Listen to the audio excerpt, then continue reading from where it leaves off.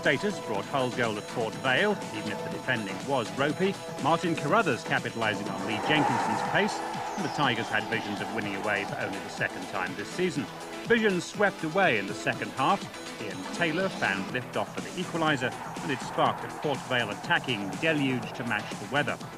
A penalty for this challenge by Wilcox on Taylor looked harsh, but anyway, Ray Walker's shot was saved by Steve Wilson, who at 5 foot 10 is tall by my standards, but tiny for a goalkeeper. He makes up for it with spring-heeled feet. That was Chris Sulley's shot. Wilson had done enough to earn a little luck, and he got it. That's the former Hull man, Peter Swan, hitting the bar, and Steve Foyle's follow-up kept by Wilson and his post out of danger. With Vale's Bradley Sandeman sent off for descent, Hull almost snatched an unlikely victory through Dean Windass. Vale 1, Hull 1.